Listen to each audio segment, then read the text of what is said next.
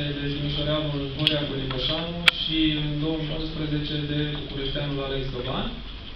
Grupul a fost urcat în premieră în 1956 de către alpiniștii japonezi. Uh, Motivul pentru care am ales acest vârf este uh,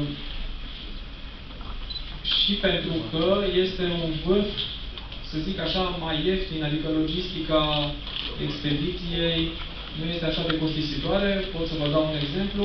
Pe Everest, o expediție, un loc într-o expediție costă undeva în jur de 40.000 de euro. Pe noi, pe fiecare, această expediție ne costă undeva la 8.000 de euro.